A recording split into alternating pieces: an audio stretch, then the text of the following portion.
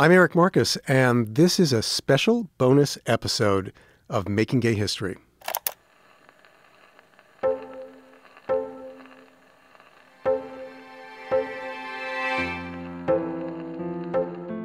Back in the late 1980s, over the two years that I interviewed people for my book, I found there were two emotions driving people to do what they did in the fight for equal rights. One was anger over discrimination and disrespect, and the other was love the right to love and be loved for who we are. We're releasing this on Valentine's Day, but whenever you hear it, think of this as a love letter.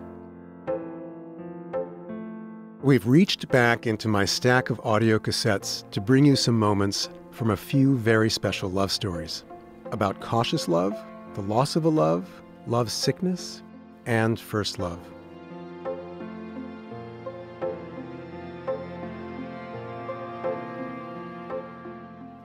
Nancy Walker had been burned before.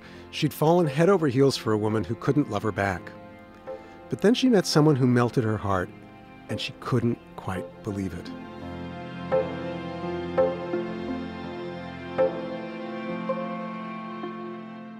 Interview with Nancy Walker, Sunday, December 10th, 1989, at the home of Nancy Walker in Jamaica Plains, Massachusetts. And then this one. She was too tall, and she was gawky. She was still a kid, and she had a dreadful haircut, and all her clothes were wrong. I was sure she had this man who was interested in her, and she used to write him these long letters by hand on yellow lined paper. And I used to, rem- I remember looking at those and thinking, oh my God, she's going to get involved with him. And I better prepare myself because this is not going to work. But it did. It did. It really, she said, I love you. I said, You're crazy. I don't know what you're talking about. This is not what your mother had in mind. And she kept looking at me and smiling, saying, I love you. I said, Oh my God, how am I going to deal with this? When she said, I love you, I said, I don't believe it. It's puppy love. You'll get over it. When she was 25, she said, You still believe me? I said, I'll believe you when you're 30. And 27 years later. I wasn't sure that uh, bubble wasn't going to burst and that you weren't going to uh-huh. disappear on me because it was too good to be true. Uh.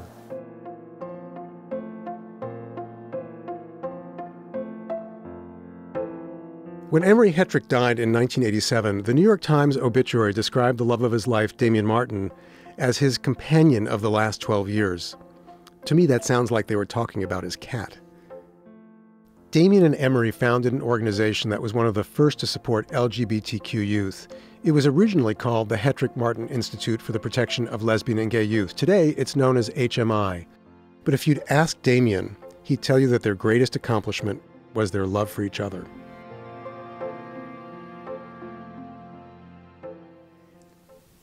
Emery was the um,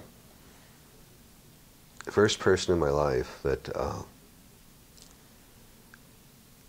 that I was able to trust completely, completely, no reservations. Emery really fulfilled my life. Uh, it ended too soon. It ended before I ended, which is bad. But at the same time, it's something that um, uh, I mean, gee, I sound like something out of Reader's Digest. Uh, it's, it's something nobody can take away from me, we've experienced. And Emery and I talked about this right before he died, that with everything, we were still so glad, so happy that we'd gotten together before we died. You know, and I used to tease him because you know, we were both older when we met. That um, uh, you know, we just saved the best to last. That was all. People have said to me, "Well, you must have been relieved when his sufferings ended," and I wasn't. Uh, I wasn't.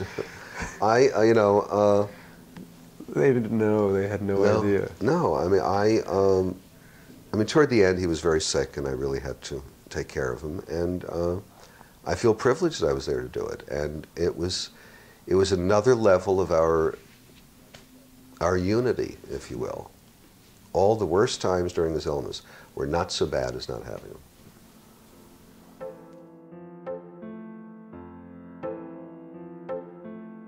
In season one, you heard legendary activists Kay LaHusen and Barbara Gittings talk about how they met and fell in love.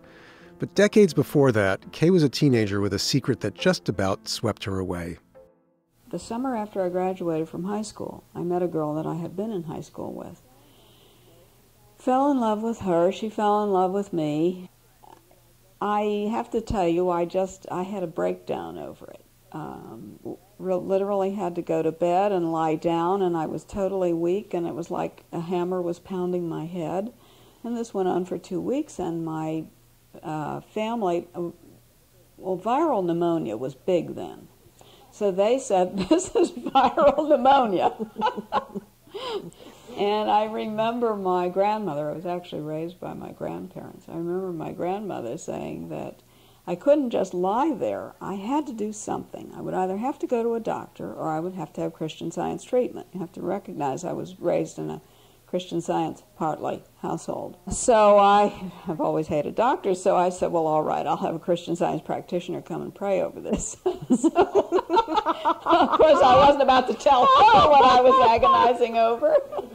so, but um, I remember I finally brought it to a head within myself, and I just decided within myself that I was right and the world was wrong, and that there couldn't be anything wrong with this kind of love. That the world was just totally wrong about this. And I got well. I mean, I, I had a quick healing.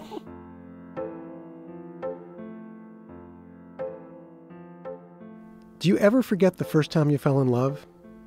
That exhilarating terror mixed with breathless excitement? I remember and it was the first time in my life that I felt normal.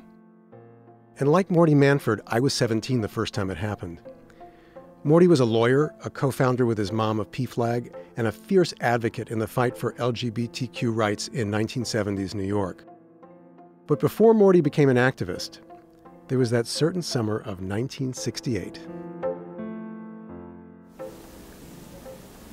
I used to go into Manhattan and walk and walk, hoping that somebody would come sweep me off my feet and make mad, passionate love to me.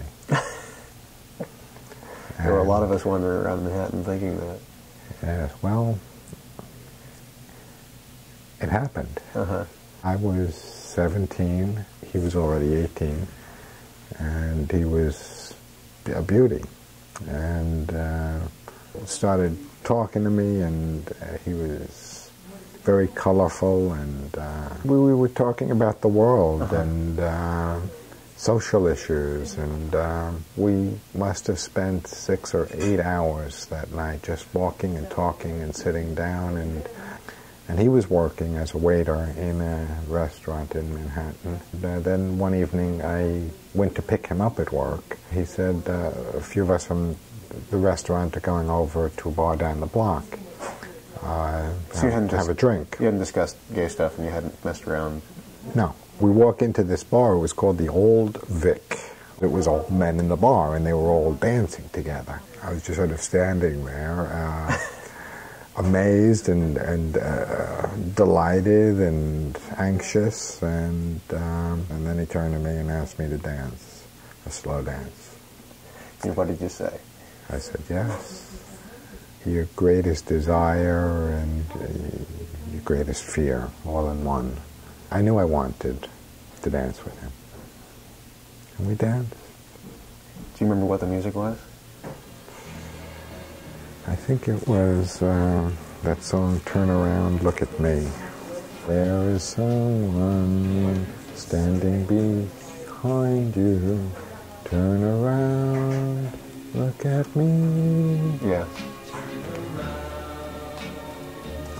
It's a I can't sing, but a good thing this is all in print.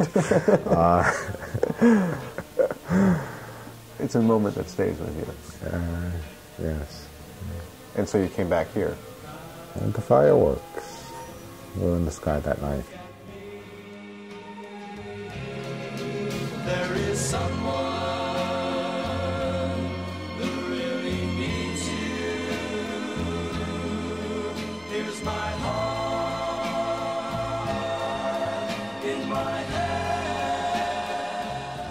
I went to visit my immigrant grandmother just after she'd finished reading my book, including the stories of the people you've just heard. Grandma, who was in her early 90s, said, Now I understand. You just want what everybody else has someone special to love. Yes, Grandma, I said, someone special to love. And soon after, when I introduced Grandma to my new special love, she embraced him as a grandson.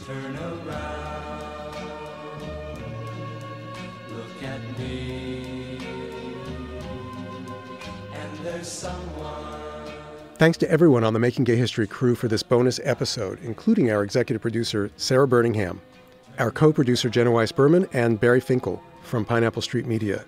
And thanks to the New York Public Library for archival assistance. A special thank you on this Valentine's Day to my special love of 23 years, who has been unwavering in his support and enthusiasm for the Making Gay History podcast from day one.